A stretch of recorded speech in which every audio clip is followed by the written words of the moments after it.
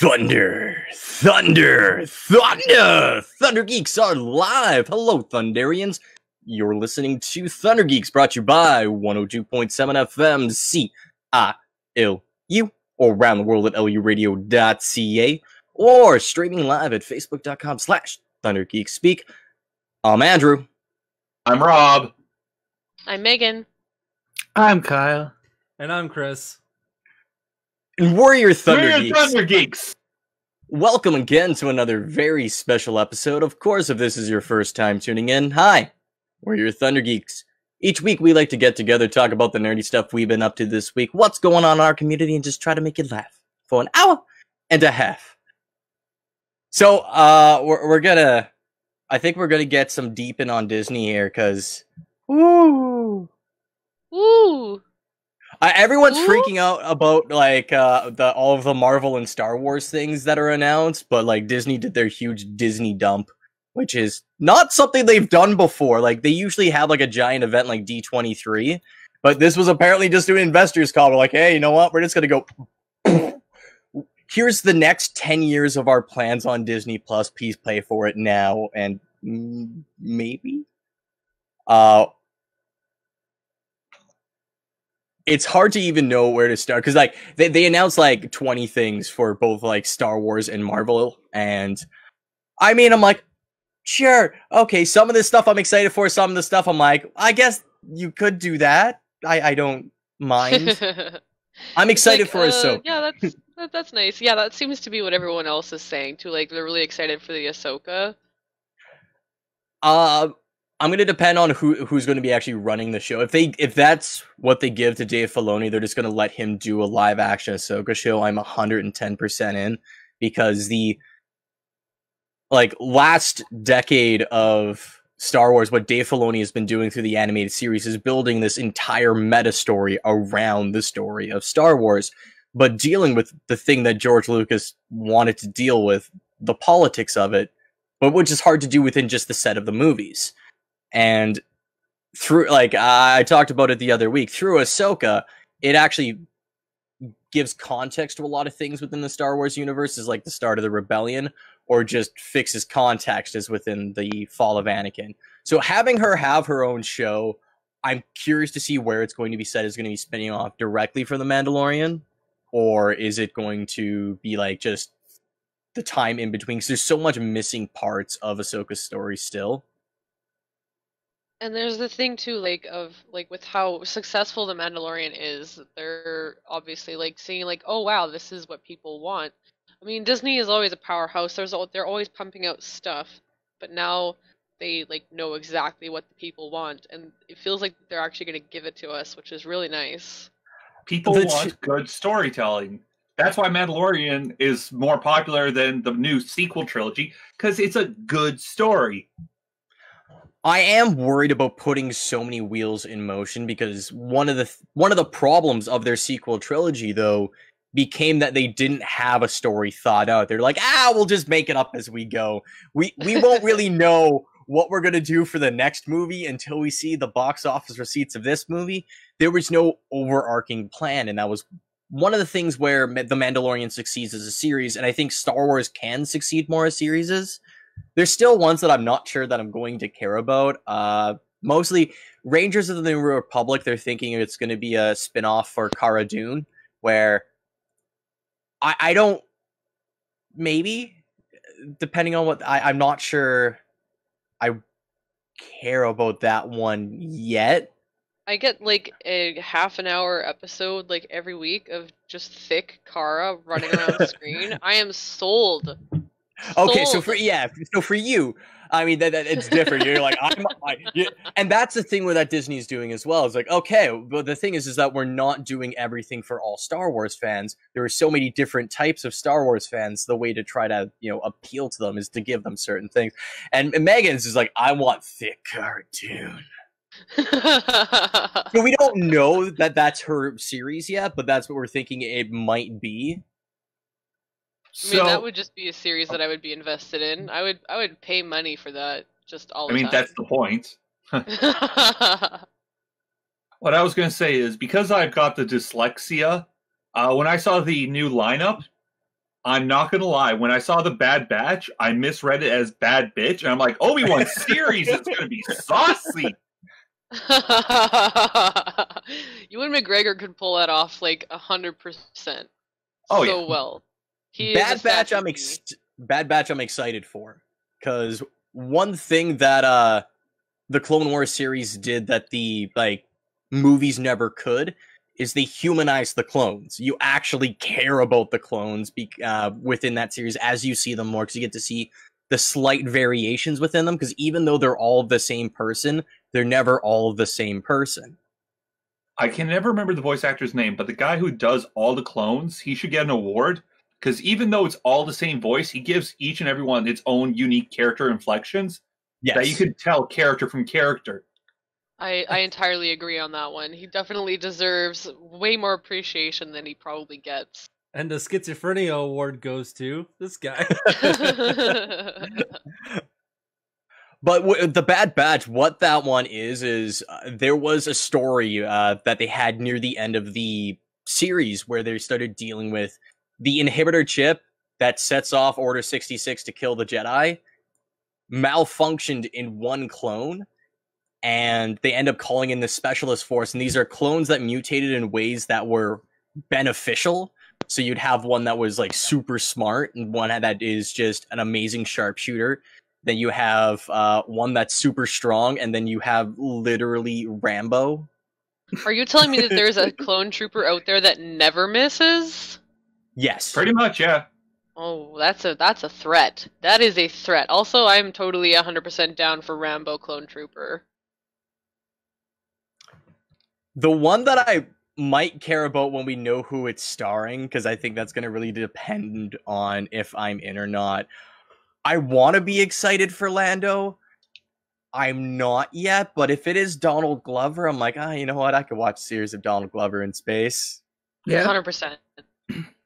Also considering in the uh solo solo movie, Yeah. uh he was he was one of the best parts, and him hitting on a robot was kind of funny. and and that's probably what's tainting my excitement for it is because Solo was it was like that was a movie. Was it a Star Wars movie? That was definitely a movie. I have seen this movie structure before. It's like this grand heist movie. Didn't feel like Star Wars, And just- despite it being the story of Han Solo and stuff. Just a, a lot of the things didn't feel right, even though I didn't hate it.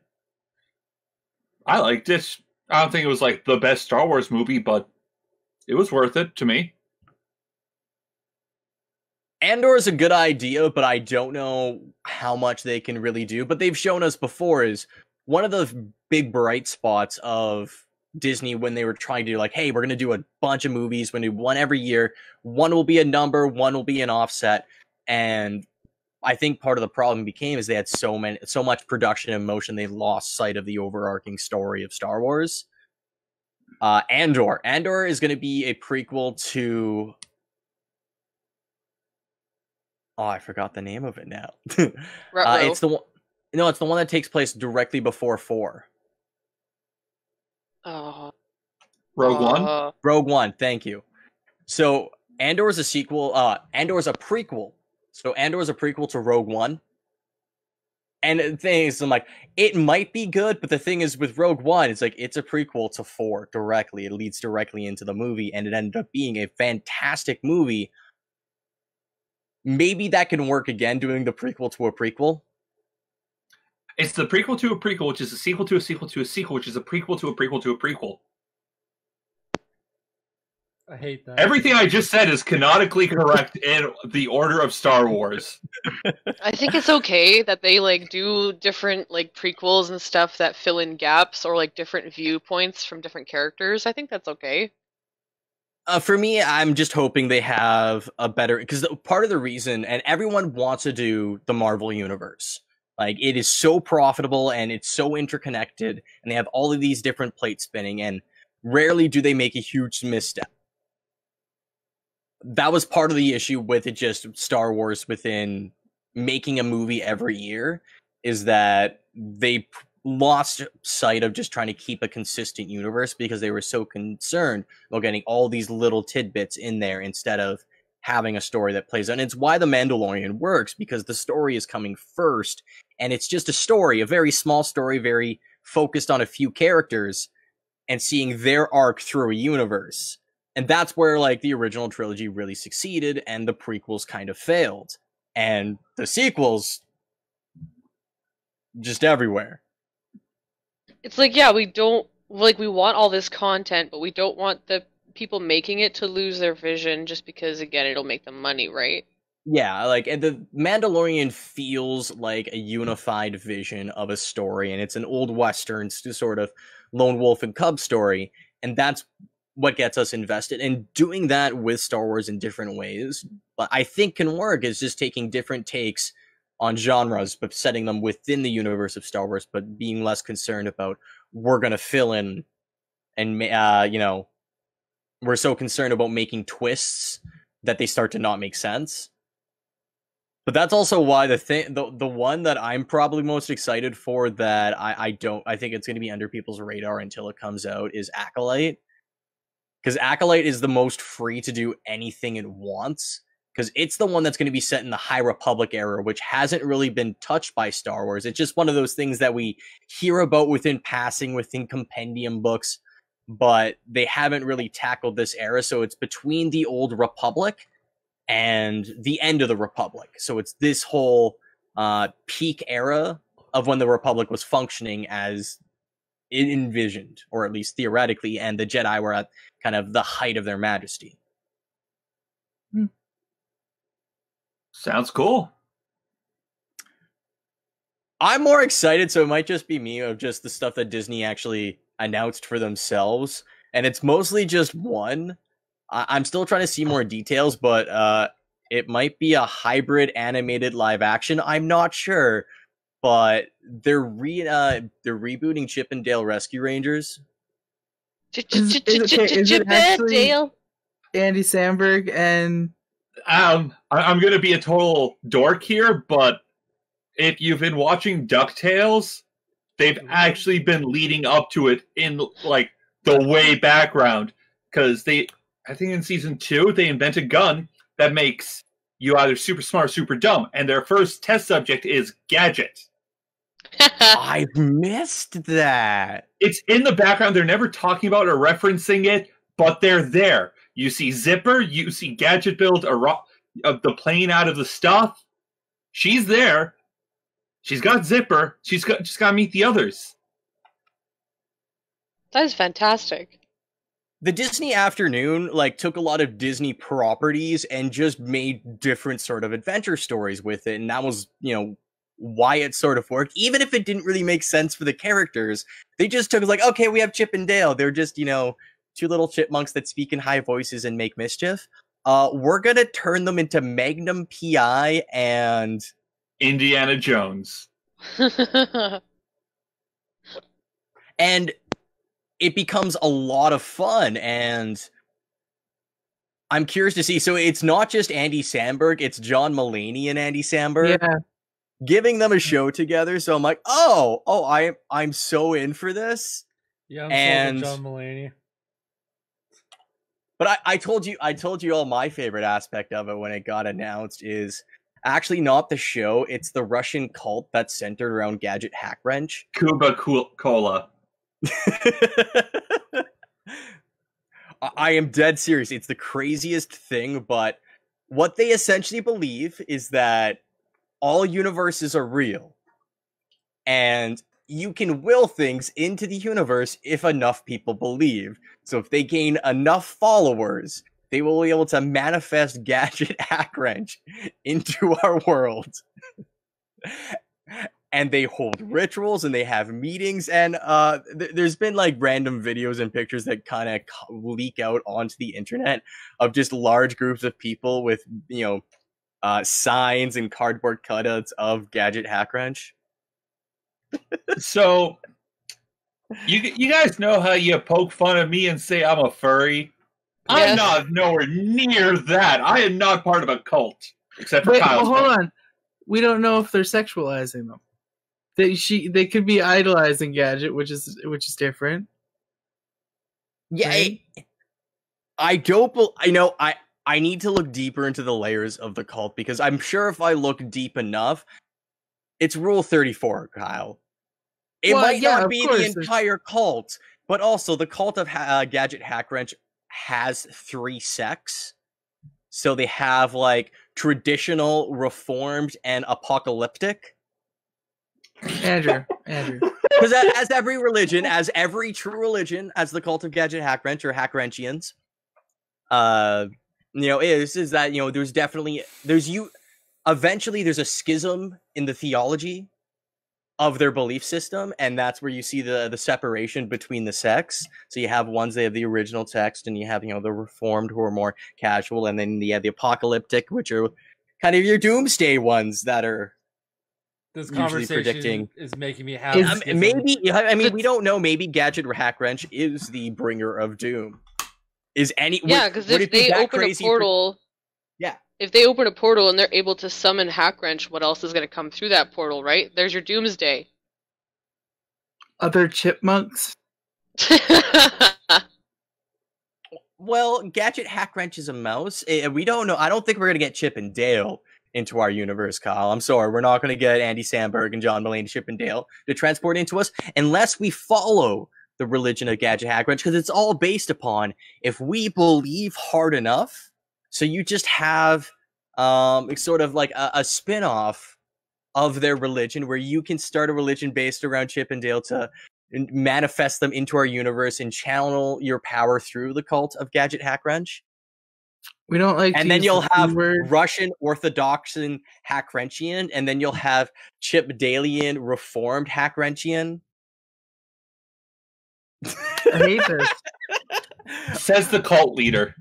Kyle, if you want to start a cult, you also have to in factor in the eventualities of religion. You're going to have a schism in your cult because eventually the leader passes on. So, I mean, like, when Nuh-uh. you are 900 years old and you eventually ascend into godhood as your believers, you're going to have to leave people, uh, someone in charge upon earth. And eventually, uh, within within the lineage, there will be a schism where they dispute who is the true leader of that religion wait, wait. and you need to account for that for the future for your lineage so you need to make sure you impose just your ideas throughout it beyond if- just the cult of personality and that's how we expand hackrentium into being more than just a russian cult but a full-blown belief system Well, how about like if um if enough people can will gadget into existence, right? yes So enough people focusing could probably achieve other things. May yeah have that's what rebirth. Yes So if I have my cha- followers channel enough on me and I'm 900 and I like hit the ground, I just rise again as like 899 and then they have to do it every year until I'm like 20 again.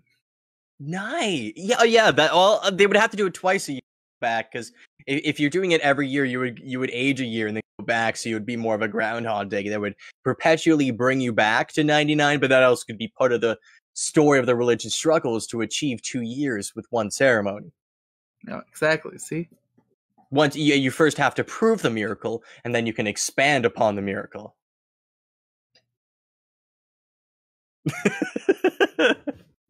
I- okay, I, okay. I'm just saying these are the important questions when Disney announces stuff: is how can we Make expand a cult.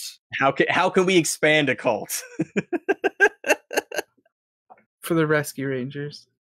Yes, Specifically just gadget. Why Oh, just no. Gadget?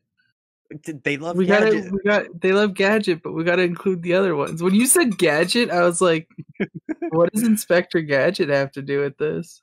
oh my gosh. it's like, what? How'd we get here?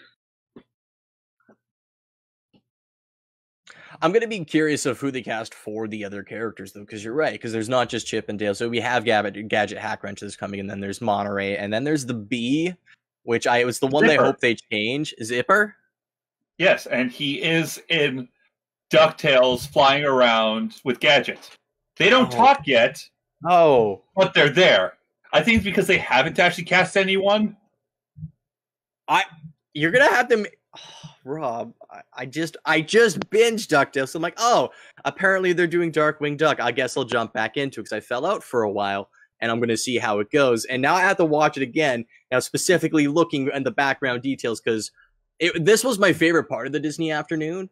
Uh, sure, they had like Goof Troop. They had the weirdest one was TaleSpin, where they took characters from the Jungle Book, but they put them in planes. just, Yep. just, just cause it was just something that Disney decided to do. Is we're just gonna have some Jungle Book plane shows. Yep. I'll make the uh I'll make the zipper sect of the cults. And I'll make it, you know, uh, it's like super um, environmental related, you know, we got to save the bees cuz if we don't save the bees, we can't summon the ultimate bee, which is Zipper. Oh yeah, how's your Oh, bee yeah. cult going, Kyle? Zipper's a housefly. We have to increase Zipper's a our house Venus. what? Yeah, Zipper's a housefly? he's blue. Oh, well, no, there's blue bees. There is a blue bell. There's a blue bee. I forget the exact name of it, but it is actually blue. It Hey, Kyle, a do you like bumblebee. bluebees? Chris, what about you? How do you feel about blue bees. Hold on. Hey Jerry, what do you think about this? Jerry's unimpressed. Uh, I'm fine. disappointed that Jerry Jerry is not invested in bluebees. I'm a, I'm in, interested to learn about more bluebees. Megan, tell us about bluebees.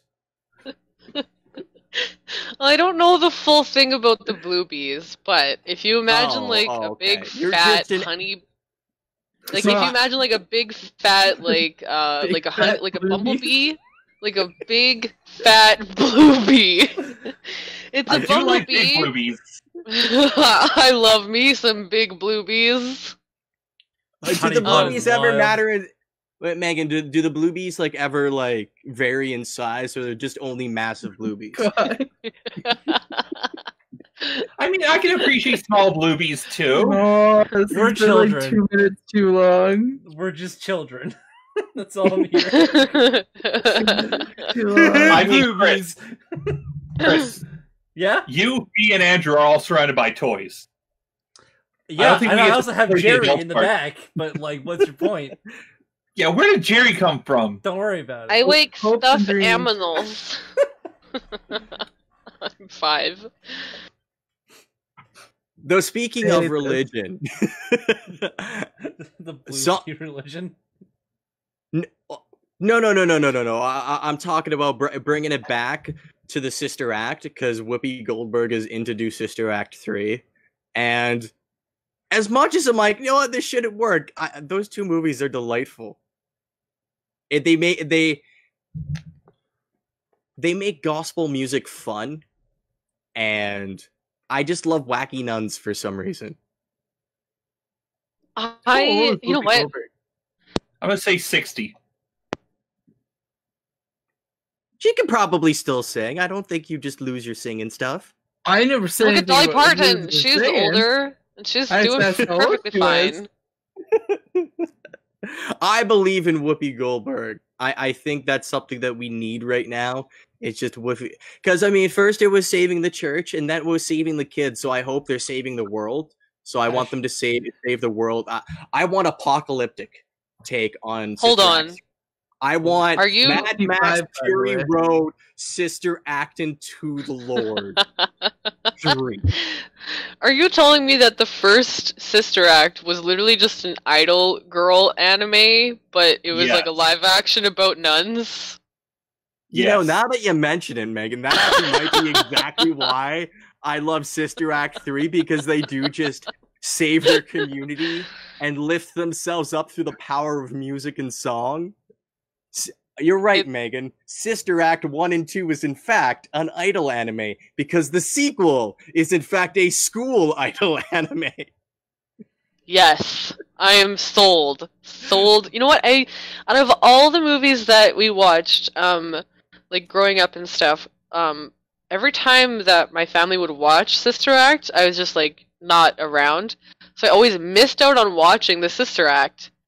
We had it. I could have watched it, and I just kept missing it. Oh, and it's just oh. one of those ones where I've Wait, always wanted to watch it, and I just We'll, I we'll have never to do, had we'll the have to do an online watch Did you- party for the the beauty of Sister Act because you, you need to you need to understand its majesty. Meg- uh, Did I do family like have I like do repetitive Whoopi, Whoopi viewings? Goldberg. I yes. What- I like was rep- I just like repetition. Thing? Did you guys I- hang out under the blanket with popcorn and watch Sister Act for the 600th time? This like Didn't your family? no. Rob, okay, so Rob, so you've seen uh, have you seen Sister Act with your family multiple times? I guess because it was on TV a lot. So Exactly. You've seen it. You've seen it. Have you? Would you say you've seen it more than three times? I've seen the sequel more than three times. For some reason, Sister Act Two was always on TV. I. That's one thing I wanted to point out is Sister Act is one of the few distinguished series, along with like Aliens and Terminator Two, where the sequel is hundred percent better than the original. Because that's when you had Whoopi Goldberg and the nuns go to the inner city school kids, and they're like, ah, you know what? We don't need to math and English. You know what we need to do? Sing about Jesus to save this school, and they saved this school by just singing and expressing. You know what would have sucked if you were the one kid in class who had like no rhythm and couldn't sing. Hi. That's me. You mean pretty much any one of us? I said And- pretty much. I was like, Andrew and I are like god level rhythm people. Yeah, but I, Andrew can't can't sing. the. I definitely See, can't sing Andrew gospel. can dance.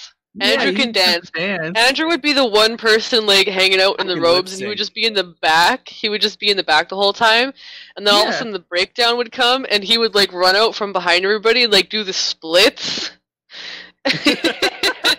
like that's I'm Andrew's role. Drop a Jesus. He's like the hype guy.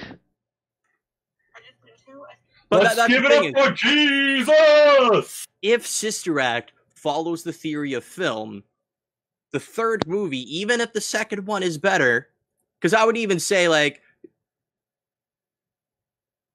no, the second one's way way better. But the third movie, the threequel, the trilogy, is usually the one where it falls off the rails, and that's pretty, you know. Likely with the movie with the se- there has been very few movies with sequels that happen 20 years later that have worked most of the ones that have done it have followed the uh, the child story. So that's my actual prediction for what this movie is going to be. I'm going to call it now. It's going to be you're going to have Whoopi Goldberg, and then she's going to have a daughter, and then they're going to have to a rather s- daughter. daughter. the thing is, you can't um you can't do children of nuns, and so that's one of the problems here with th- that tackling. So the only Whoopi Goldberg can have. So Whoopi and her daughter children. are going to have to go back and save the church again. You have like that- adopted children.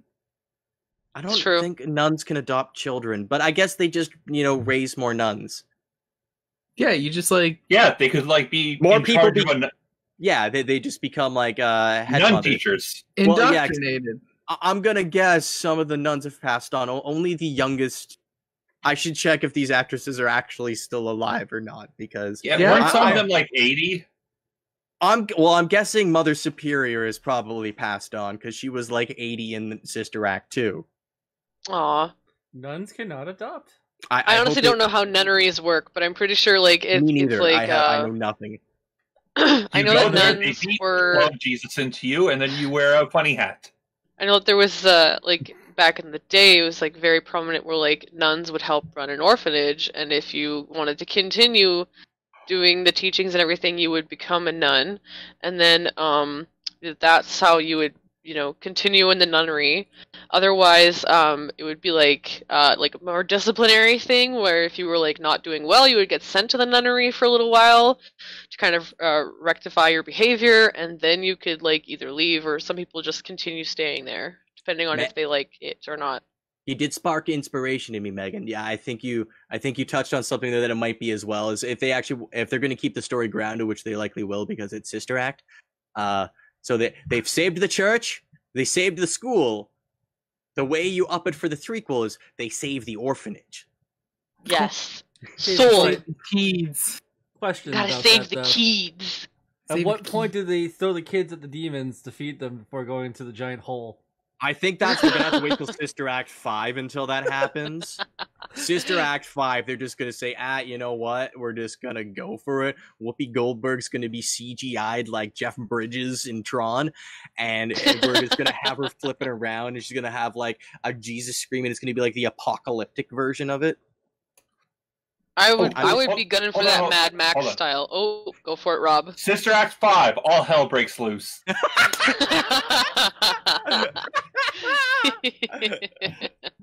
Hashtag That's I believe dream in movie.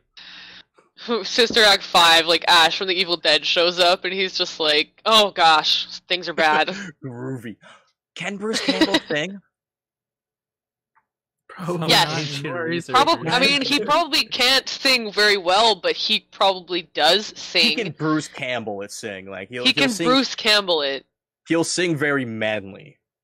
I feel like he has enough confidence that if he if he if he had the mind to if he had a mind mindset on it, he could probably do anything.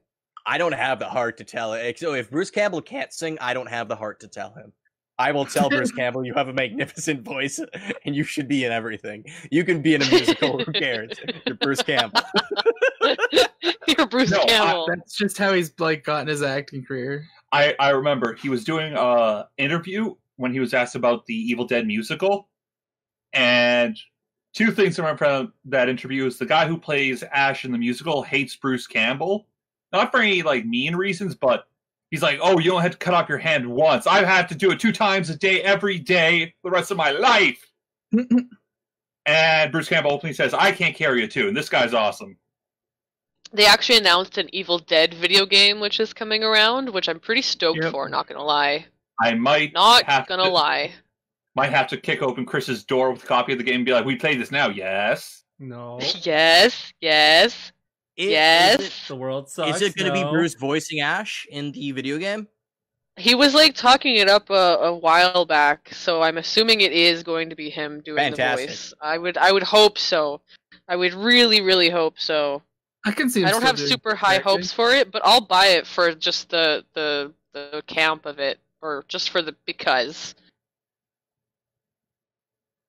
I mean, what in the Evil Dead franchise has ever been not good?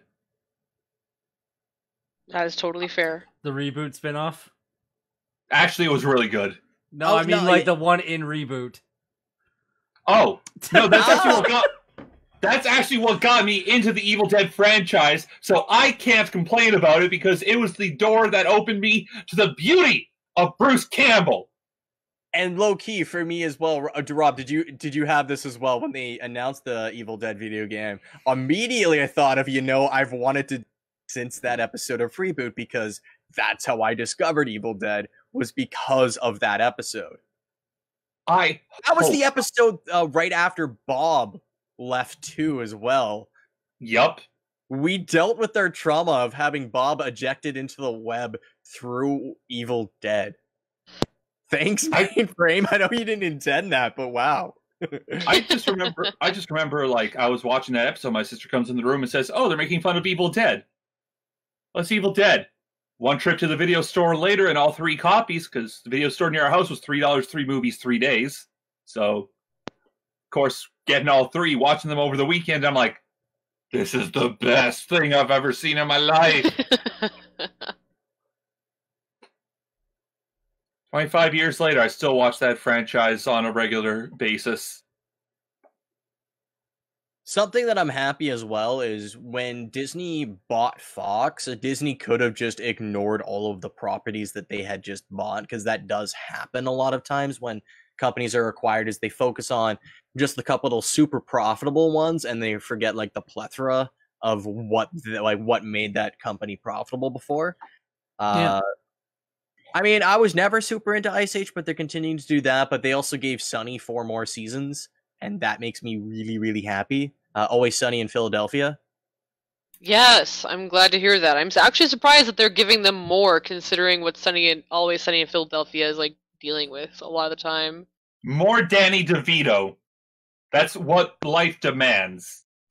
Uh, for, for me, like uh, the show's just consistently Funny. funny. It's Hilarious. just it's it's just funny. I haven't like ever. It makes me laugh, and I, I I'm The- happy Disney's like, hey, you know what? You guys are just super successful, so we're not just gonna go season for seasons. Like, how how about four? You guys you guys got four more in you? Like, ah, we got four more in you, and we'll we'll see how we go from there. There has to be an episode in one of the new seasons called "The Gang Gets COVID." no. There has to oh be. no. Oh, so I was watching trailers because you know that's what I do, and I found trailer for a movie called Songbird. It's COVID twenty three, the movie. oh my gosh. Oh, I I. What's Here's the thing. okay? So what? How? Okay, so uh, uh, COVID mutates, and they have to like l- like lock down to an extreme level where the few people who are immune pretty much have to do running between everyone for every business. They're pretty much like DoorDash on steroids, Oh, and So it's like Death Stranding. it's, it, it, it, so it's kind of like a DoorDash like apocalyptic scenario. uh, and every morning when you wake up, you have to do a facial scan and like takes your temperature and all that. And if they say you got it, they take you to a camp. Yikes.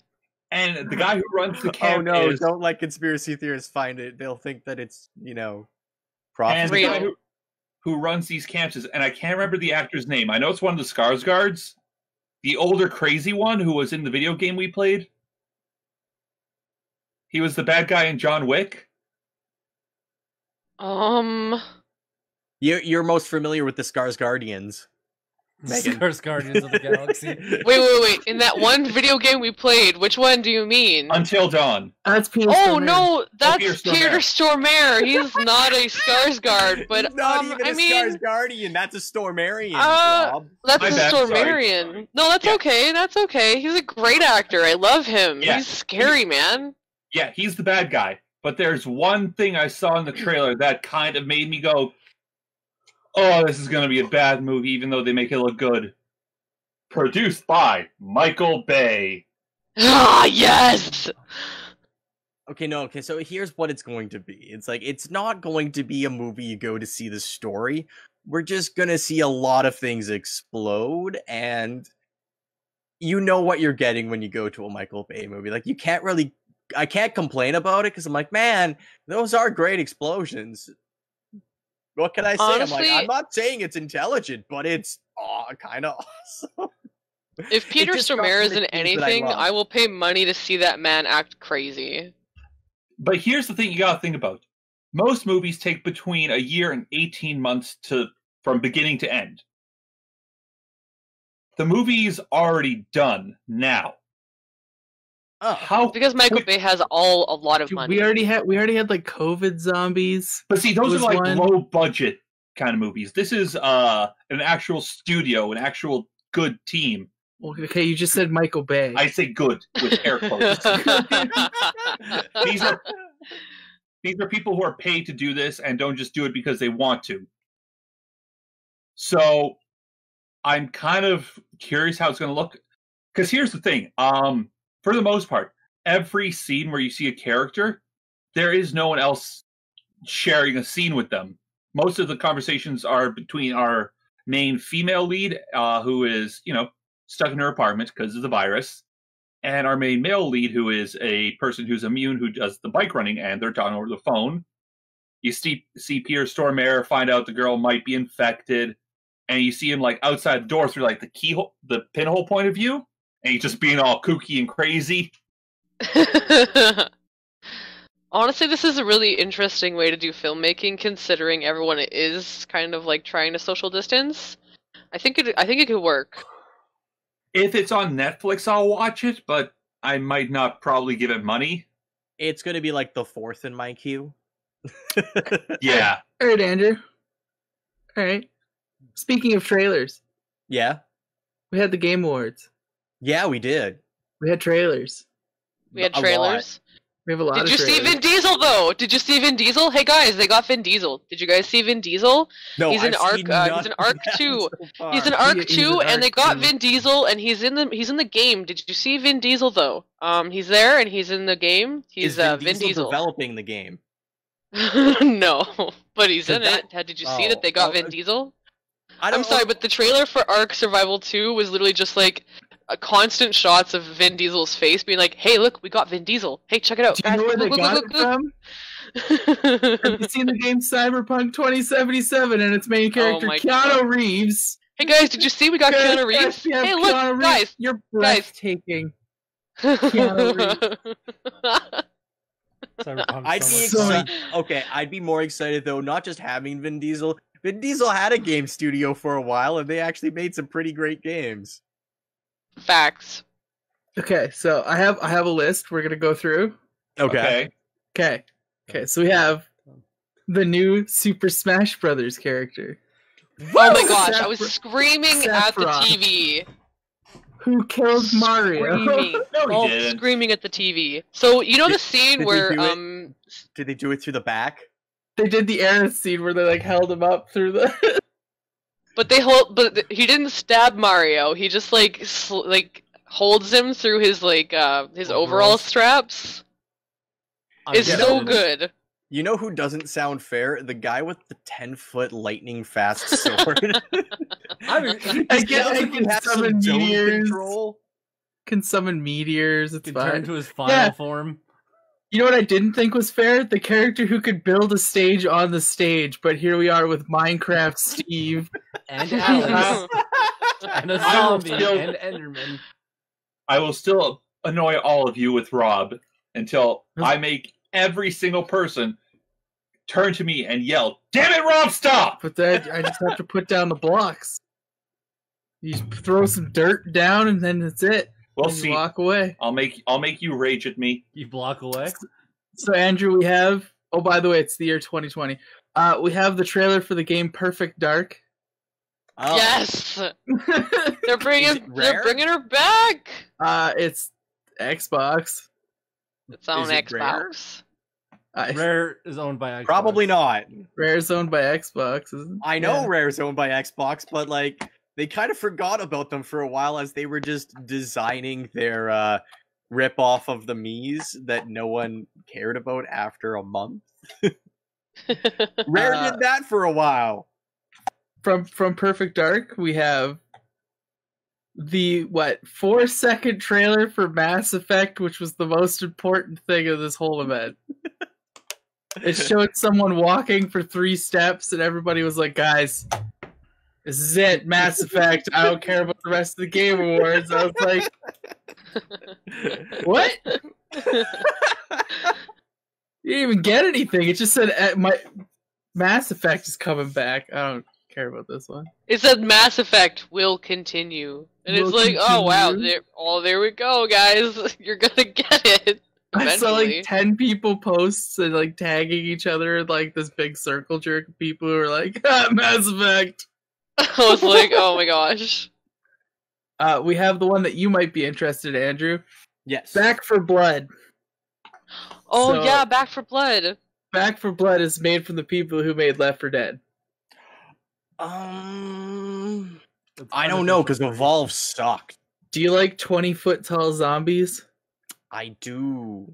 There are twenty foot tall zombies. Okay, is it just a Mr. X zombie just game, shows or up. is it something that's more like? Is it a cooperative game? Because that's been I their think, I think it's just a zombie thing again. Um, well, I mean, like, Like- is it first person? Is it multiplayer? Like, what what's the setup of it? Did it show, or is it Uh, just I think there was a gameplay trailer. I didn't see much of it though. okay? I'll, I'll have to look more into it because that's uh that's Turtle Rock, and Yeah. I loved Left 4 Dead one and two, but I loved it because of the gameplay mechanic and how they had you cooperate. You could still play Left 4 Dead with other people if they didn't have a headset, but you wanted people with the headset. Um, part of the problem with screen. Evolve and split screen. Evolve came out so early, most people didn't have headsets for Xbox, and it was a game that required a lot of cooperation and a lot of nuanced cooperation. And it ended up not working because Left 4 Dead worked because you can just pick up and go. It wasn't that complicated. Uh, yeah. Yeah. So f- from there we have Vin Diesel. I mean Ark Two. Uh, with a photo of Vin Diesel. As you can see. With a photo of Vin Diesel. They got Vin Diesel though. You got Vin Did you Diesel. see? Vin Diesel? Did you see Vin Diesel? It's got After Vin Diesel in it. He kind of, uh, he's kind of myth to me. he's, he's, it's Vin Diesel. Um, we have the the next Dragon Age one. It's also announced, but nobody cares about that. This one I'm excited think- for. Which 'cause one this is this? the- this is the only game I play. they announced the new map for Among Us. Oh, the Henry The Stickmin game is one. fun. The the airship. Yeah, it's Henry Yeah. Stickmin. I don't I don't know what that is. I think a- that the only two games that I was really excited at seeing, well, there was actually three. There was one where it's like a Groundhog Day sort of game. I can't remember the name of it, but it's literally like it looks like uh, how Control plays, but it's in space. So it's like you shoot stuff constantly, and if you die, you have to restart. It's like Rogue style. And then there was, of course, Endless the Dungeon. most we uh no not endless dungeon it this one is um a third person shooter and uh i can't remember what it's called for the life of me but the other game that i was interested in was called scarlet nexus now this is the most weeby Oh. thing i've ever seen in my life. That's literally what I said to the chat. I was like, dude, there's a trailer playing right now that is the weebiest thing I've ever seen. okay but it looks I good they got it. that It looks- funimation they got that funimation studio voice acting money The Oral Cigarettes made a song for it. I know it's edgy, but it looks cool. Okay, Megan, exactly I want a It's bunch so of edgy red strings stuck in the back of my head. I always choose Matrix Head Jack. exactly yes You really gonna sit there and tell me that you didn't think about Evil West? I love the idea of Evil West. I saw it and I was watching the trailer, but it's all and Dark like if an- Fantasies, Red Dead Redemption 2. It's like if it's a people in Red Dead. top-down shooter sort of style, like strategic gameplay, though, I'm totally out. If it's a third-person shooter, I am so so in. But right now, from the trailer, I don't know a whole lot about it, so I'm just gonna kind of like put it to the side and like kind of admire it for the time being because this is exactly what happened with Mutant Year Zero. Red Dead okay, uh, Chris, See? did you play Fall Guys at all during season two? No. Okay, so the new season starts in two days. Nice. Yeah, this has got seven more levels. Great, you're gonna see like two of them. I saw like none of the other ones, so I don't really care. This See, is Fall my Guys is fantastic. Sorry, Fall Guys is fantastic because you can't even be. You can't game or rage and quit at that game. Like it's too Yes. cute. You Oh, yeah, can't. you can. Yes, you If you Yeah, you if you are rage quitting at this game, you should just quit gaming. Get out of here. No, you can you can 100% rage quit at that little Fight, bitty. fight, fight me. Fight me instead. Come on down Okay. to the to my place and fight me, man. All right, all right, Andrew. This is this is my favorite announcement. World of Warcraft. So we have the trailer for Master Chief coming to Fortnite, which also involves The Walking Dead, Red versus Blue, and by the way, don't forget Ninja. Ninja's also here, and he's in Blood Gulch, which is available now if you want to play alongside The Mandalorian, which you can now collect Beskar steel plates to upgrade your armor as The Mandalorian, or go back and play as any of Oh, by the way, we beat Galactus by driving battle buses into it. So that happened. S- What about Excuse me, I'm sorry, but in, you know what Fortnite does not have? Do you know what they don't have? They don't have Vin Diesel, okay? Did you see Vin Diesel? They have Kratos.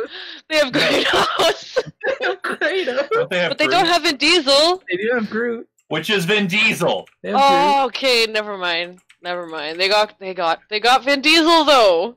I They- just They got everything. We're gonna watch an episode like a trailer for Fortnite. We're gonna see a Thunder Geeks logo in the background and be like, "What?" Hey, we're in Fortnite. Mm-hmm.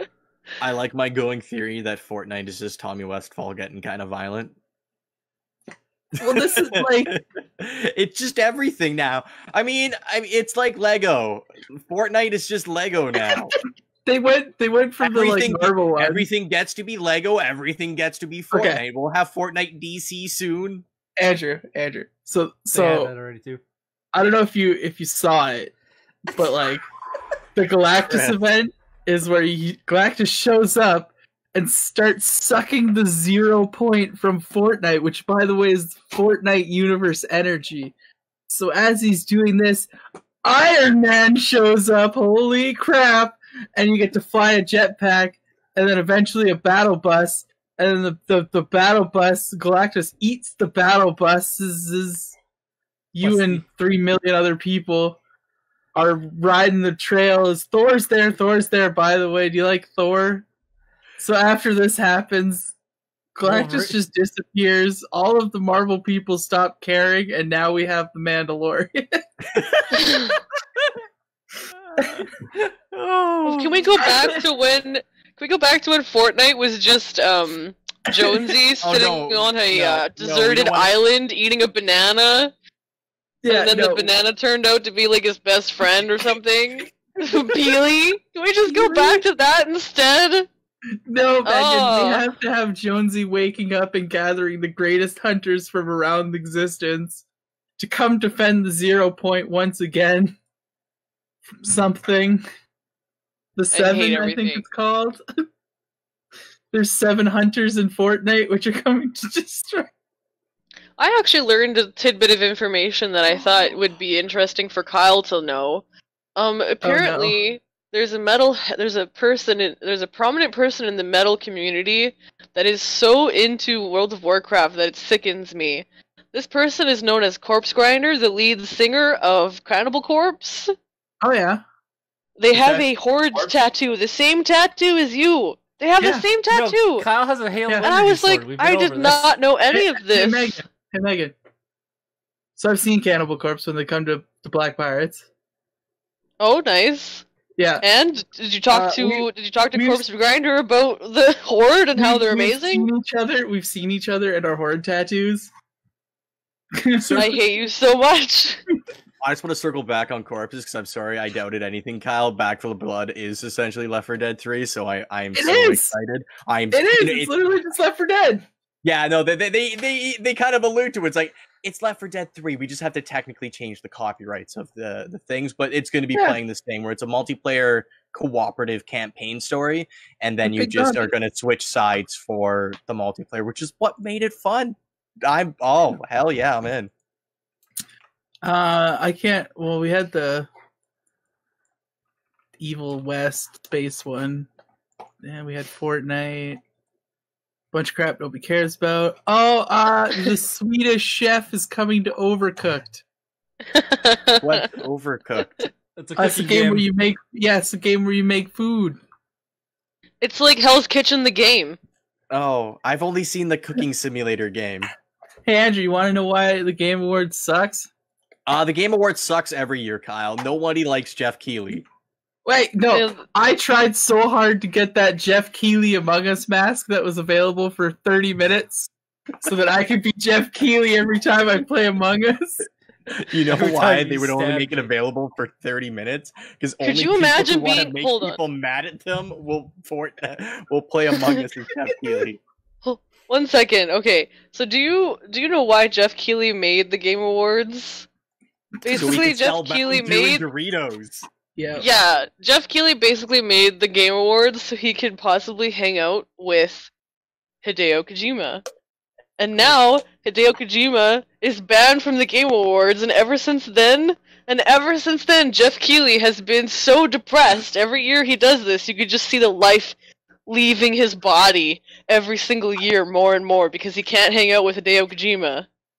Do you know why Hideo Kojima got banned from the Game Awards though? It's because Hideo Kojima Uh, was a Dr. Pepper man.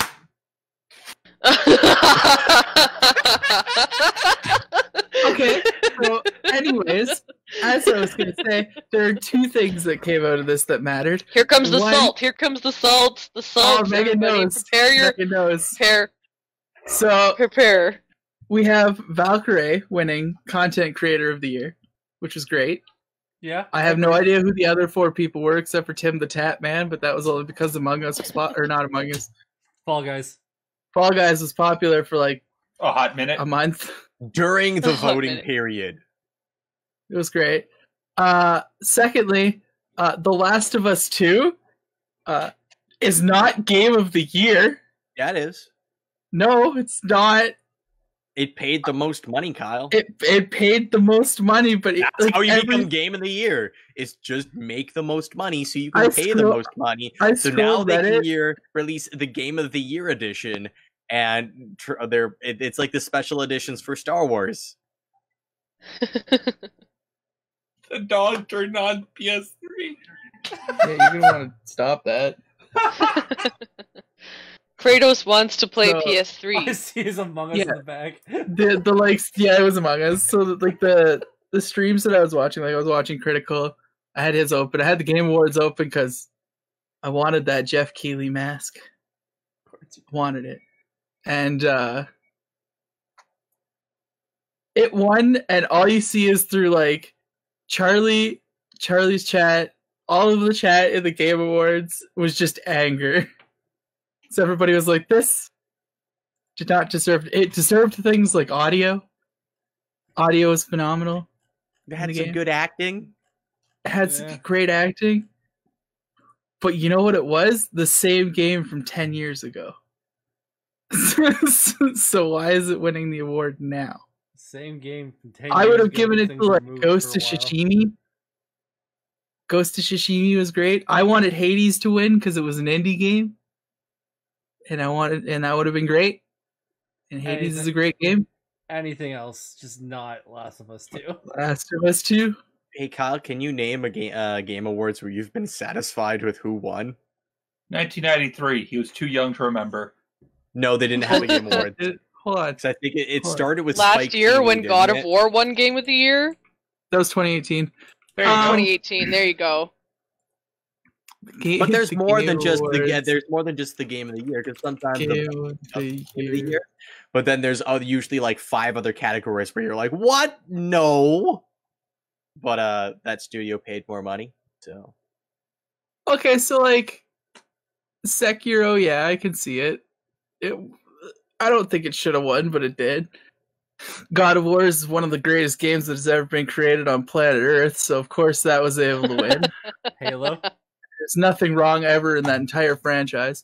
Uh, we have The Legend of Zelda: Breath of the Wild. Andrew, how's that I, going? I never finished it, but I'll admit it was a phenomenal game. fantastic game. I've also never going to finish it. Uh, we have Overwatch. Uh, I guess. You're a Blizzard boy. Be you, you know what? When, uh, when Overwatch came out, it was It was- it was great, extremely yeah, okay. hot. Yeah. Uh, we have The Witcher 3 Wild Hunt, which I agree is one of the greatest games ever created, Yep. and Dragon Age Inquisition, which also was a great game. And then we have The Last of Us 2, which was not a great game. Wasn't even a good game. It was a game. Well, it's like one of these things. Not like the other. One Okay, one just makes me Game mad. of the Year, Best Game Direction, Best Narrative, uh, Audio Design, and Abby won Best Performance, even though I'm pretty sure everybody hated her. Yep. uh, innovation and accessibility, best action adventure game, Hey, best debut game is one you enjoy. phasmophobia.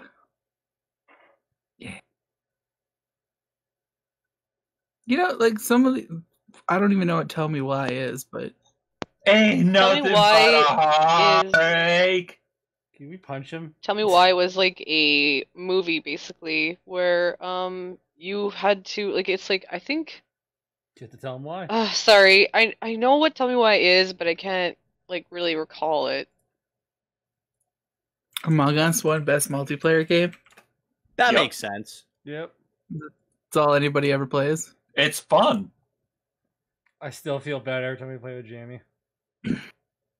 She dies first every time. every single time. no matter which group we're in, just every time.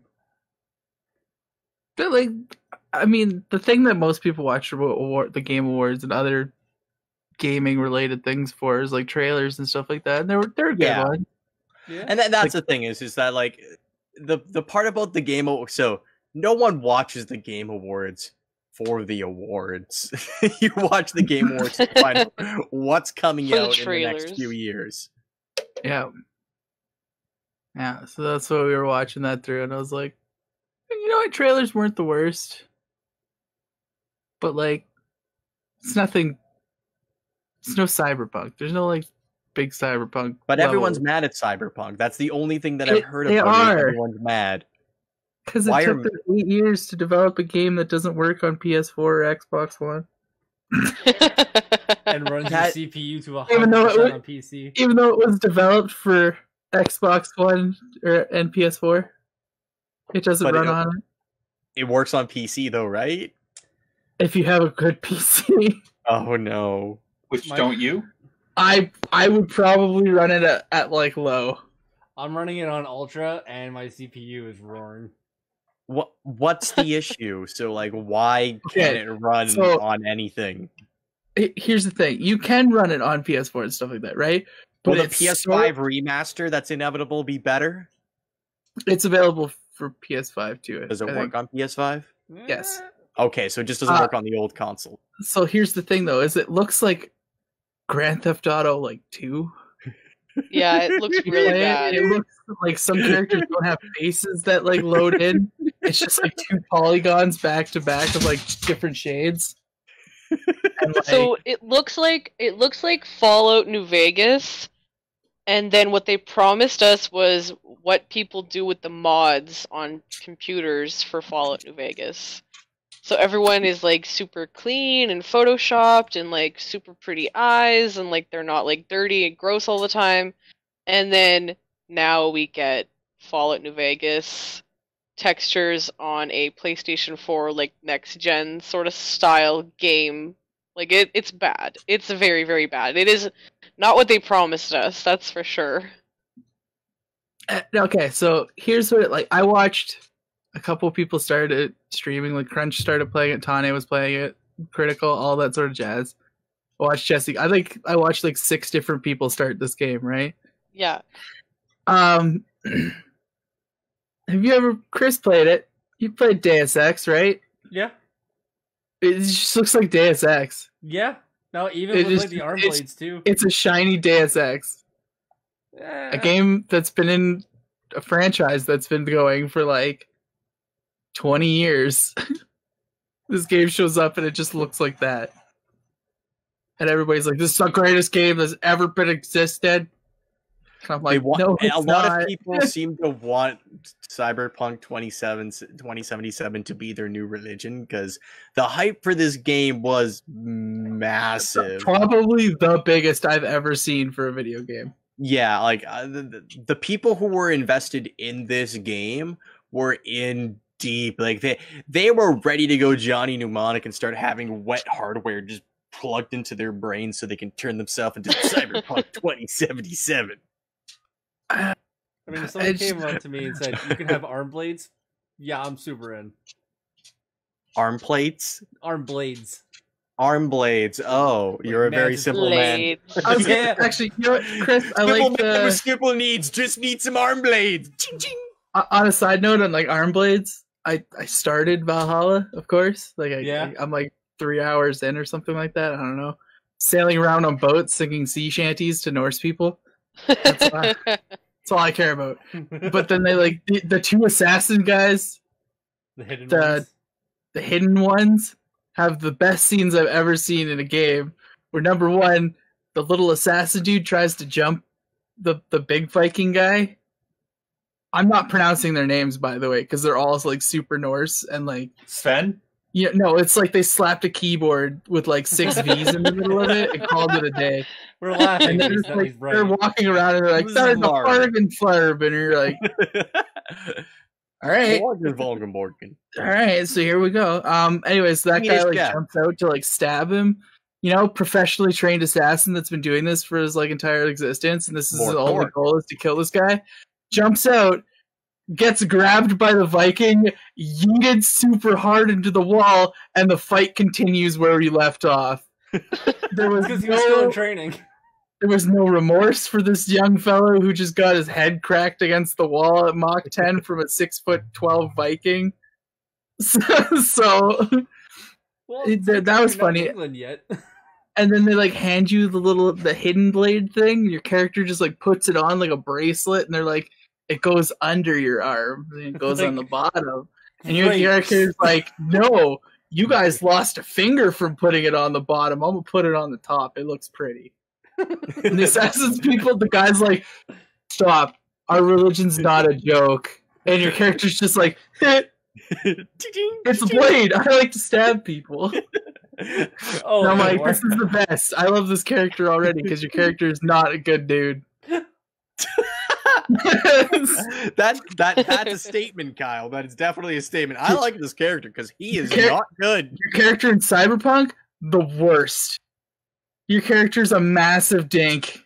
True. That Keanu was before Reeves. Silverhand. No, Keanu Reeves is like in your head.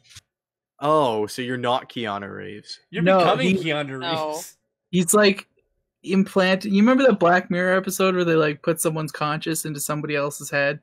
Yes. It's yeah, that. so it's like that. No, it's literally just that. It's it's literally that where It's the movie upgrade. almost except Johnny's just like sitting around. Like you can see him, you can talk to him, you can like interact, but he's not there. Right? I mean, and that that's going to be tough if you have Keanu Reeves next to your character the whole time. How how can you ever look like a good person next to Keanu Reeves? He's kind of an I, I don't know. You could spend twelve hours in the character creator. Did you give yourself a 13 inch dong? Oh yeah, so that's the other issue with the game. People are having dong issues. So, yeah, that was quite, that was never something that we assumed was going to happen. But I thought been Rob was joking. Uh, can you explain to me the dong issues? Okay, so one of the big features that everybody was excited about was you were able to customize the size of your dong. You were able I to- forgot. You were, to, you were able to make it big, big flopper donger, or you could have like a little pencil wiener. You can continue on with your life. So the issue is now is that people's clothing isn't containing said dongs. So as they're walking around, they're just like a floppy dong hanging outside of their pants, or like for the women, their boobs are hanging out, like sticking through their shirt, like they cut a hole in it. So they're just walking around with like titties flapping in the wind. Cyberpunk. yeah, exactly. As everybody's like, this is the game issues we're having is that the character's dong is like flopping around. I think Andrew just found his new favorite bug. I'm waiting for the Fuda mod. Like here's the th- like the thing though is like people were iffy on Twitch. They were like, "Are we allowed to show this?" Like this is Terms part of of the game, right? Yeah. Is It's is this Cyber? terms of service. Oh no. Is So like oh, Critikal had like full dong. He like opened his menu and it was just like like a curvature six foot long like flopping monster of a wiener. The Moby huge on the man. legitimately the man like built himself a Moby huge on his character. And like I just looked over and I'm like, oh, This is not the blog I was expecting there's of inside of Cyberpunk. Cyberpunk. 2077. it's Why are cyberpunk. you complaining again? Because it's been like eight years of delays for a game that's still filled and riddled with bugs. So bad. Hey, Yeah. Kyle, that doesn't sound like a bug. That sounds like a feature. Like the hang dong. If you're gonna give your character a six foot dong, it's assumably because you want to see it. I don't get- that's I'm saying no. That's a feature that is built in to the if game. you ever want just like to progressively know where the maturity level of like all of the gamers are at that are excited for things, they literally released a dong slider. And that was it. The whole game didn't matter from that point on. Like this was the most hype game that's ever existed. You could change the level of your dong. The future is now. You can change like- the level of your dong, but you can't change your hairstyle when you're in the game. Like, what's with that? no Yeah, apparently there, there no, there's no haircuts or like Tattoo GTA level parlors thirty. like yeah, there's no tattoo. I Can't mean, I loaded up Sold. I I loaded up Valhalla and got like head to tail tattoos because I'm a Viking, of course. of course. Of of hit keyboard random letters, Svingerblurgen. Yeah, those are my tattoos. So I I just there was just a bunch of stuff I've seen. I've watched a lot of play footage now of like Cyberpunk from people having like high end computers, like these thousands of thousands of dollars worth of machinery. They're like, the game's great. It runs great. And then I watched a TikTok of a man who blew up his laptop from loading in Cyberpunk 2077 on Ultra. He's like, guys, watch this. And he started clicking everything up to like the highest difficulty or like graphic setting. And you hear his laptop just start clicking. And it's like,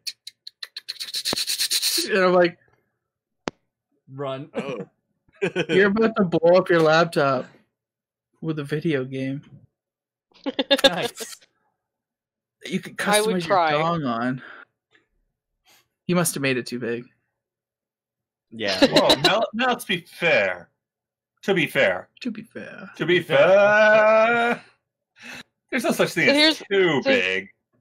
and you can't even like customize like I would I would I would want more customization because not all dongs are the same shape or Yeah, can you- size. Can, can I you pick want- for cut or uncut? Yeah, Megan I makes a believe good you point. can. Slider isn't enough. You Slider's not customize the enough. curvature so much that it just wraps around your leg. It's just like can I tail. choose can I choose what shape it is? Like can I choose it to be tapered near the hilt more? Can I choose that it be like banana shaped? Can like is it just straight of and narrow? You know what? Can I choose the angle of the dangle? You know what I've Is never, what I want to know. Can we I've never thought it? of the And hilt on my promoted- dong- my dong. Sorry. I've never thought of the hilt on my dong. You're welcome. You're welcome. On my sword. Okay, okay, okay. Can I choose which which which way like the the pubic hair grows? Like, can I choose it to be like totally straight? Can I choose it to be curly? Like, can I have it Put the, you know, crimped? Oh, or, yeah, yeah, like One testicle always hangs lower in than the other. Can you decide which testicles hang lower? Can you make them perfectly balanced? This Can you is, give yourself an extra one and you just, just listen. Write a strongly worded letter to the people who run Yeah, Slider CD is Cyberpunk. Projekt Red. CD Projekt Red. We need more options with our dong. every dong is delightful. Facts. I should restart the game. So Megan, Yes. let's get down to business to discuss Mulan. Mulan, you were How'd you waiting. feel about it? Did you think it was fun? How long did you work on that, Andrew?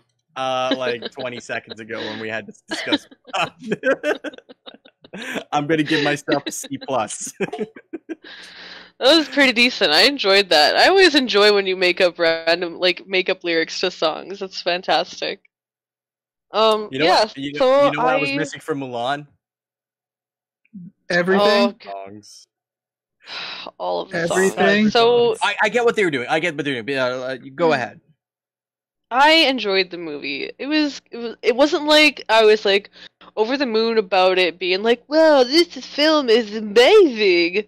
This is the best thing I've seen in decades." But it was a it was a good film. Like I en- I enjoyed it. They they started off the movie with Mulan chasing a chicken on the rooftops and then they ended it the same way. I, I guess they did. You know what, Megan? I missed that. I guess they had symbolism with Mulan chasing a chicken and then the giant chicken at the end that was just Giant chicken. just there for some reason. Was it a chicken Um okay, rooster? so No, Uh, it was Star it was a chicken. So, It was a Kyle, you've chicken. seen it. Megan's seen it. I've seen it. Um, Unfortunately, Okay, so uh, I'm curious how, uh, Megan, you said before the show that like uh, you hadn't really seen the original Mulan. I've Oh, seen the original Mulan. No, I enjoyed the original Mulan. I watched it. I owned it. It was like a movie that I watched on the regular. So it wasn't like I was going into this movie blinded Oh, uh, okay, on the fact of how the original movie was. I was just like kind of curious to compare like cuz you know Disney takes a story and then they Disney it and then Yes. that's what they do like, you know. Um it's the same way with like Cinderella. They took the story of Cinderella, they Disneyed it. It was fantastic, but my favorite version of Cinderella isn't the Disney one. It's a random one that I can never remember the company that made it. um but yeah.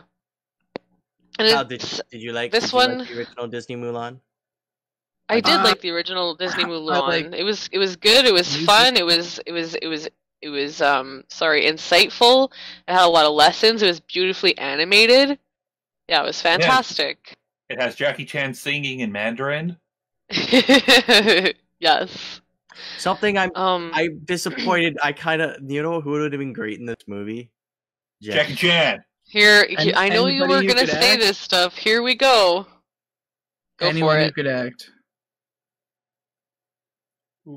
Uh, part of the issue might be as well as I think they did the movie both in English and in Mandarin, but I'm not a hundred percent. I like I I this I know this movie was like Disney was making with the Chinese market in mind. I loved the original Mulan, and I see what they were going with this movie, but for me, um, I always expect you know some tweaks when they do the live action versions of their movies, and I know they want to move away from like the the original. Um, one of the issues that I had of it though is that a lot of stuff kept reminding me of the original. I'm like, man, you know what was better? The version they did with the song. I, I- I- so you were you really wanted a musical, is what you're telling me. I really wanted a good movie. maybe movie. not but even maybe not even but like my, my issue was is like the training montage and like them talking about like the, the kind of girl that they admire and stuff it was way more entertaining um if you're going to do a training montage like the the whole time in the camp for me that's kind of like the highlight of the original movie and for me that was kind of the worst part of this movie for me The training montage? Well, no, like uh, their time in the training camp because that's when they really had Oh. character building and stuff. Uh, you said before the show was like I-, I can't remember any of their names. It's like I can't remember any of their other characters. The only reason I know there were different characters ish is because they kind of rem- they would say a line that I remembered from one of her just you know characters, like one of the characters within the original. But because you they were animated, they were more you know distinct in their personality. Where everyone was just kind of the same. Like the I I I agree with Kyle where it's the acting wasn't Sucked. great. It sucked. It sucked. I Wait, mo- most of them like I I can't they I couldn't tell you anything about them. Jet Li was in the movie? He I- was, he was the emperor. Yeah, he was the Emperor. That's Sure. Who did? sure. Yeah. Jet Li was I just- uh, Jet Li played the emperor. So this might be a weird thing to say, but I'm officially starting this theory that anytime Jet Li is an emperor, the movie will fail. Mummy three, anyone? Ah. Oh man. That's sad. Um Well, so yeah, okay, like, so, like- um we start off the movie where like, you know, Mulan is in her village and she is uh rambunctious young girl, you know, She's she's energetic. She's a ninja. And she is being she is being told that she has to change the way she carries herself because you know she will never be a wife if she doesn't uh if she doesn't she has like magic. settle down yeah That- so that's, what, that's where I checked out right then and there is when she turned into Legolas from the Hobbit Okay, and started okay. jumping around. i'm gonna s- i'm gonna stop you right there because because i'm gonna stop you right there because in chinese culture your body and soul and your chi are like very important okay and you watch a show called Dragon Ball Z, where everyone is like super powered and an they use ki, okay? show, not And the actual Mulan story where she Frozen. started casting spirit bombs at people. There is a no live action. reason. There is a live action Disney film where someone is literally like a beast, bro. Yeah, The thing is, if you want to take a realistic Mulan, give me a realistic Mulan. They, like they, they took out like you know fantastical things from the original like Mushu, but then they added in the The Phoenix. the the, the Force. and the Phoenix. The Phoenix is just there for. s- There's a Phoenix, I guess.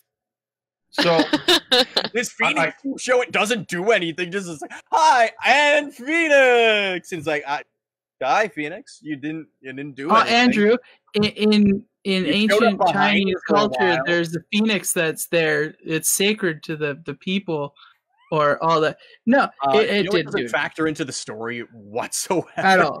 Uh, That's right. the, the Phoenix. So, I- I'm just going to go on a little bit of a side tangent. Um, the whole thing about Mulan in the animated movie, her sacrifice or disguising herself as a boy was a sacrifice because she couldn't fight. She had to learn. You're saying she's a ninja? That takes away the sacrifice. She can already fight. Yeah, she And does that- like crazy backflips and like So And- where's her character development? Oh, She's she can also slow Shinobu. fall. But yeah, she can actually like control gravity and slow fall to the ground. yeah, no. What? and kick arrows out of midair. yeah, see, Mulan's character development was starting from nothing and growing. No, And- this is like and Luke Rob- Skywalker starting with his lightsaber. and, and So Rob, this, that- hold on, Rob. Wait. I'm gonna stop you right there because the point of this film is uh, you have to be true to who you are. But you can Mulan still has grow to- as a character. Yeah, she does grow as a character. She accepts who Mm. she actually is at the end of it. Like that's the whole point. I'm not just talking about external. I'm talking about like it's it would. Do you remember the um training montage when Mulan's like getting her butt kicked, but when she finally reaches the top of the tower, how good that did that feel in the story? So She's here in this champ. story, so in this story, she's not a champion. She is not. She's regressing Um. herself. She is hiding who she actually is. So she struggles along with the rest of everyone because she's not using her chi. She's not being who she truly is. And when she finally gets the freedom to be who she is, then she excels. there is Yeah. no logical story reason why she's hiding how good of a fighter she is when she's disguising herself as a boy. And that that thing's the, the what Rob pointed out is because she starts off the best fighter and perfectly amazing. The like a big chunk of the story no longer works, and that is the training scene. Like I said, my favorite part of the original movie was their time in campment and in training and stuff because that's when they formed their bond as you know soldiers and as friends amongst each other and stuff. With this one and with this one like i they have her character so closed off from everyone because she's not she mulan starts off as the worst in the animated series uh, in, in the animated movie and then she you know works hard and you know and works harder than everyone else earns everyone's respect by becoming the best by just trying harder than everyone else. When it's i have all of the power in the world but i can't show it. Cuz uh when i was you know presenting as female i was told not to do that but now that i'm a boy for some reason i'm pretending i can't fight. I it, it, it it impacted the story for me where like the whole middle of that um story was just like i was pretty checked out for it and it's because that she doesn't improve she's the best but she can't tell everyone she's the best until she's can See, I, I've noticed this running trend that kind of is really, really hurting Disney movies, in my opinion, the live action ones. Mhm. They make their female characters perfect from the get go. Every a Disney princess and character starts with flaws and improves by the end. Like, um, let's look at Belle. Belle in the original was super socially awkward. She didn't interact with people, she didn't do anything. But in this one, she's a social butterfly, and everyone loves her, and they're jealous. And look how smart she is. also emma watson can't sing as Yeah. well as everyone else could sing in that movie there was uh but like but w- with mulan like i still think the action scenes were cool. I, I i think like that part of it was fun and there were things that i liked about it. Uh one of the one of the changes i actually did like is the the avalanche scene where she you know causes an avalanche that ends up taking out the hun army. Hmm I, I like the idea of like instead of her uh her just grabbing and just having inspiration to fire a rocket at the thing that she actually Whoop. I think we lost. Oh, Whoa. Andrew's lagging a bit. And now he's are you muted. sure? hey, bud, hey, buddy, we can't hear you. Andrew, you're. Yeah. Yeah, there you go. There you go. There we go. Da, da, da, da, da, da, da. Andrew's back. okay Da, da, da. So go back 30 seconds. I oh, oh, okay. So one of the things that I did like for the changes is the avalanche scene. Because in the animated one, she just grabs a firework, fires it out the mountain, and then she kills hundreds of people. In this one, uh, she shows her intelligence by you know using uh, everyone else's helmets to trick the Huns into thinking their army is flanking from a different side, with her just firing arrows behind a rock, and then causes them to use their catapult on the mountain to cause the avalanche, so they become the makers of their own demise. I kind of Mhm. like change for it because it, it it shows you know strategy and intelligence and such, and it's the the first part of character growth that I actually see in her. Kyle's currently on Rotten Tomatoes reading some reviews. She's the chosen one, basically an East Asian Harry Potter, but instead of the boy who lived, she's the girl who lived as a boy for a couple weeks.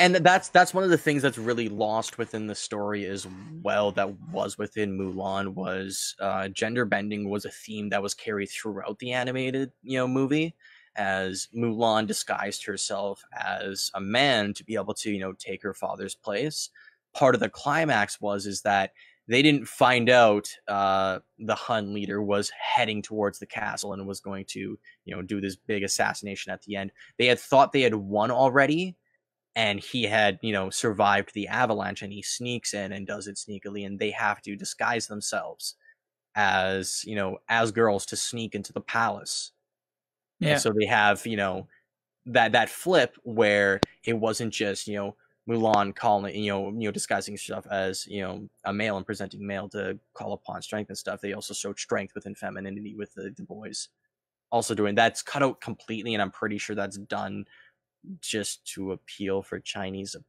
approval censors, where uh, Wasn't that a big part of this? It's like there was a bunch probably of- it, it was made for China, and that's one thing as, as well. Um, Megan, Megan pointed out like they, they changed all the names, and I can't. If they had characters, I could probably remember their names. I do think it's a good idea they changed Mulan's name because in the original it was kind of racist. She was Ping in the original, and it's like okay, you know what? Making her uh, Hua Jun is a better choice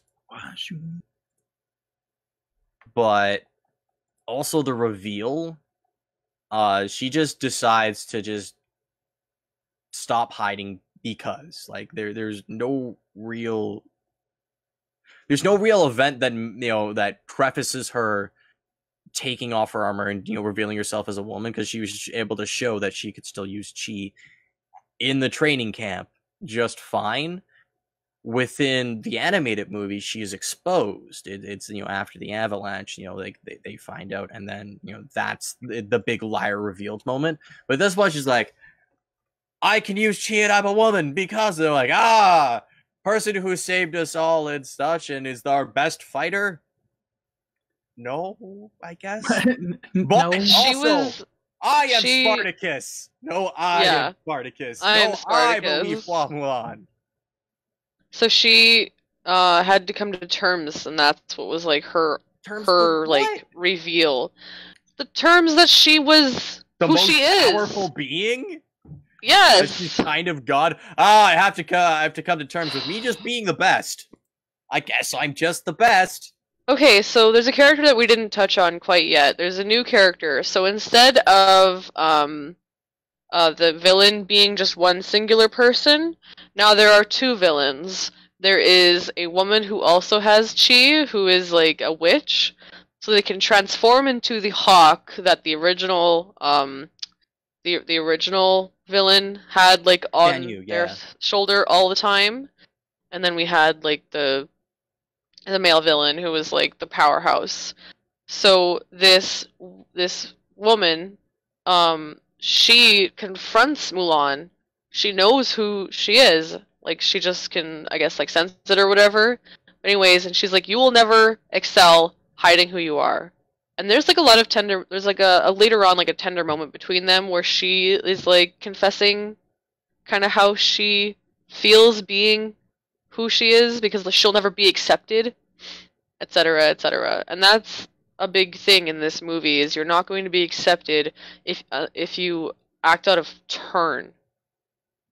And that's what she's doing is she is she was hiding herself, she was hiding her chi so she wouldn't be acting out of turn. She was trying to blend They in. never established her- why it's a big deal that they have chi. Like they, they, it's just a bad thing just because there is no point in the oh, movie. oh, there's no actually- reason. it's like, hey, Milan, you're the best, and this chick can do magic, and that's bad. There is there is no reason why a man can't have chi. Totally Yeah, fine the- for the men to have chi, okay? But the women having chi, you can see it in this hawk girl character, this bird lady. She is vilified for having her chi because she's not supposed to have it. She ca- she's she's acting out of but they never show her being vilified. She's introduced as a villain, continues to be she- a yeah, villain she was until villain. she's just suddenly not at the end. She's just ah, you know what? You know what? Maybe not. Like she y- y- sacrifices y- herself for Mulan, which was a big Why? character thing for her. Why? Because she wanted because maybe she was like felt like Mulan was the only that- person no, who accepted that- her. I don't know. I don't know. That, that that's the things we don't know. That just randomly She at the end, she just sacrifices herself. You're like, oh, I guess she turned beautiful. good at the end just because. It doesn't make like there, there is no point where she actually has any character arc. She's introduced as a villain, does a lot of cool special effects things, which again also makes it like, oh, why why couldn't we have Mushu?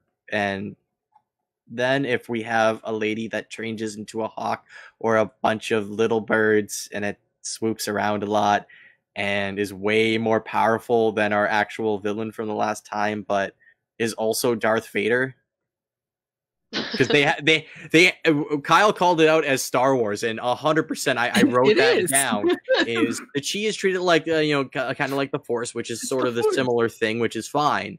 But then they go through the you know the motion of the witch going to Mulan, going ah. I see you have power to join me, and we will rule the galaxy as father and son. I mean, Witch and Mulan. Mu- Mulan's story is literally just Rey, where she's like a nobody from two Race has random people. personality. Does she though? Yes. Yeah, she's funny. She cracks jokes on a regular basis, at least. Like it's you at least see Rey have personality, or at least have emotion. You, you know who never really had any emotion throughout this entire thing? Um, Yeah, um it's another thing I've noticed in a lot of action movies, and this is again just me noticing. Uh whenever they want to make a female character seem more BA, like BA Baracus, they try and pretty much go, Well, she's stoic, so she doesn't show emotion because she's that tough and that you can be a, a Banff and still laugh at things, smile, crack a joke.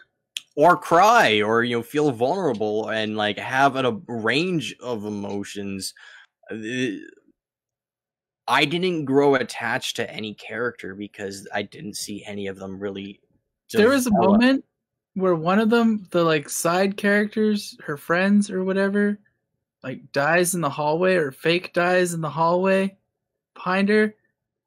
And like I was watching that with Vic, and I was like, "Did that char- was that character important? Who is that?" And they're like, "Oh, that's like her like one of her best friends from the training camp." And I was like,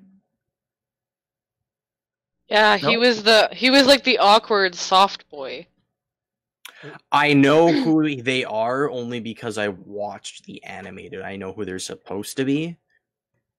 But if i'm Judy taking it as just how they were presented honestly like they, they were all kind of the same ish like they didn't have as distinctive personalities from each other.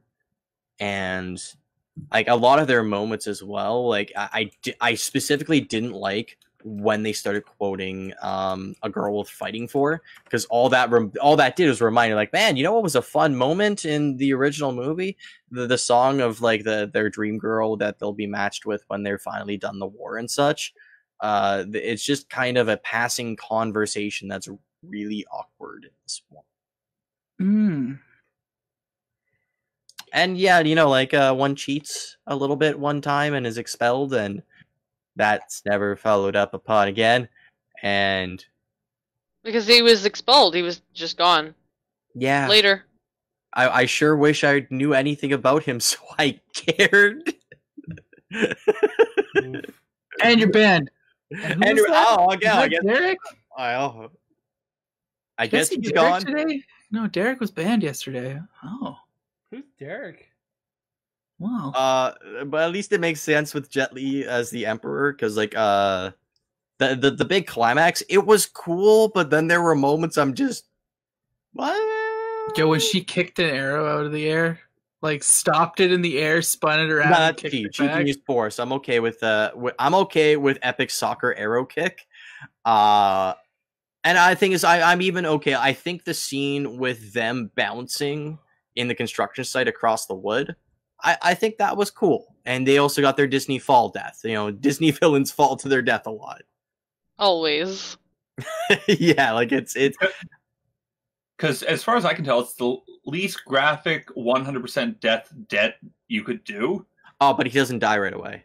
Oh, Except for Oogie Boogie, who was literally unraveled and then squashed to death. Yeah, yeah, unraveled and his skin came, you know, undone, and uh, I was trying to think of like which Disney characters actually have like a body count, and I was like, well, of course there's Mulan. And then I was like, oh my gosh, is Jack Skellington the only other Disney character like with an actual body count? Oh, there is very high body count. Um, Game Theory actually has an entire episode dedicated to the most deaths within a Disney movie, and they they go through it. Um, Mulan, I think, is like third or fourth. There are a couple movies where Who has Oh, more of a kill count than Mulan? Oh, okay. The number one one is the one you never remember. Uh, Dinosaur has the highest kill count because all the dinosaurs die. Three hundred and seven thousand one hundred Okay, but- forty-three. Okay, that's So- fair. Um, because like I'm thinking of like a singular character, like actually There was one. I'm, I'm trying to remember who it was, The but there was. the meteor. meteor that ended the dinosaurs. his name was The meteor. His name was Dave. Dave the think it was- meteor. I think it was Atlantis. I think Atlantis has a higher body count. Hmm. Yeah. Yeah, let's put heroes. but uh, th- I haven't. Uh, yeah, so like I said, wi- like with the witch character, it felt like so they want to introduce another strong female character that would be a mirror to Mulan, but then she also, to me, doesn't feel like she actually has character development. She's introduced as a villain. She's a villain throughout the movie, except when she has a conversation at the end. It's like, ah, you know what? I guess I won't be a villain. It's like, I mean, oh, sometimes that's all it takes. okay. Like, you know, you ever have like a conversation with someone who maybe changes You your mind about how you feel about friendship. yourself? No. It's the power of friendship. You know what was Like, lame? Changing the- it to the, the- power of friendship when you have an all powerful. She essentially leads the army. She's Yeah. way more powerful. Like there, there no reason for her to feel threatened by anybody. So I don't I- get why she becomes good. It's like, ah, you know what? I get to be in charge. That's what I was expecting by the end of it, because there's no reason that she just Like, hey, you be in know- charge by the end. Mulan's got a point. You know, they're kind of like, you know, Remember when Be Disney accepting- villains were unapologetically evil and they were fun? Just make her evil. Sometimes you, you don't need a complex and deep and moral fighting. You could just have evil. Maleficent was fun until Angelina Jolie tried to make her good. Her I- name yeah. means evil. I, yeah, Sorry, that one. still bugs me. But uh, but I I guess I get. Well, I was saying, I guess it makes sense. Jet Li was the emperor because for some reason he just catches an arrow, like old eighty-year-old looking man just boop. He's like, oh well, damn. How did he get kidnapped in the first place? He just, Just 'cause he's Got strong with man. the force, man. yeah, everyone's strong with the force here. The chi. Everyone's got the I know force. the the blind guy from Rogue One was in there too. I think. I think Johnny this Yen. would have. Was it Yep. Scotty in? I think it was a big mistake to make Mulan Bad. Yeah, well, just like super powerful. Like it, it, takes out like a big part of her. Like they would have to change more of the story for it to work, which they're free to do. The problem is, is the new elements they introduced, uh, kind of hurt the callbacks to the animated series they, ha- uh, the animated movie they had.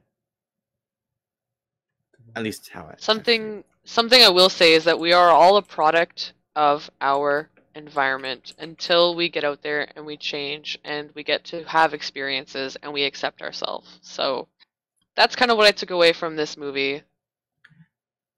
And you know what? If you are born with super, you know, magical mega powers and you are the best ever, you just keep being the best ever and be the best. Don't need to grow. Just stop not being the best. Yep. Yep. This is giving me a headache. You know what would have made this movie slap? If they uh, would have had uh, Stevie Murphy. Wonder and NSYNC do the and Eddie Murphy. You know what really would have helped this movie? Eddie Murphy. If you're And gonna Jackie have and Jackie Chan. Hmm.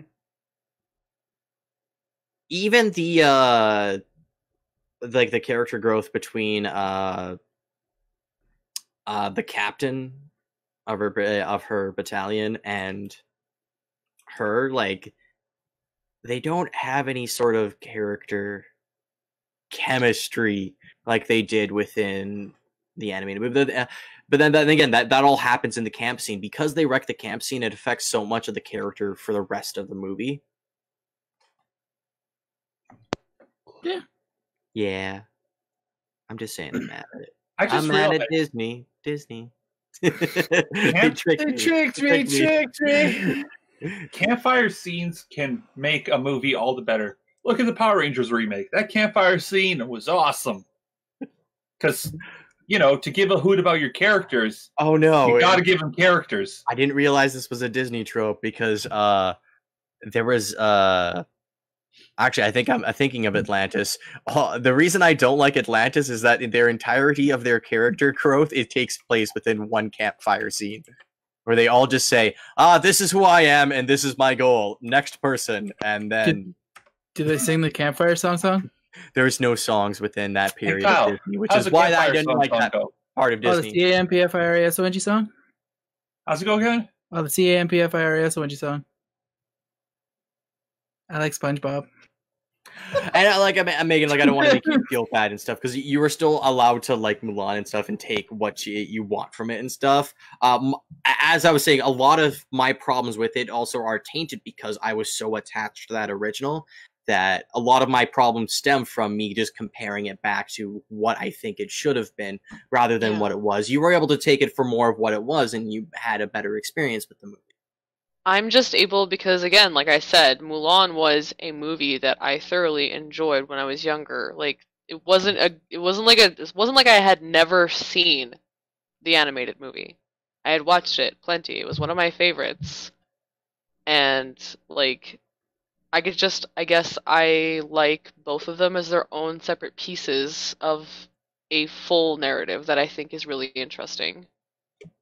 I just want Disney to stop doing live action remakes. I other than Jungle Book is the only one that I've enjoyed so far, and uh, and I I'm, uh, that one's at least more of a mixed bag because there are people that don't like it.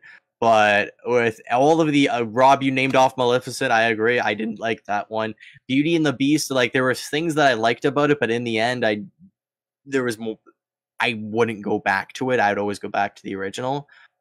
And Hey, Disney, just let Jon Favreau do everything. I'm hoping. I'm hoping.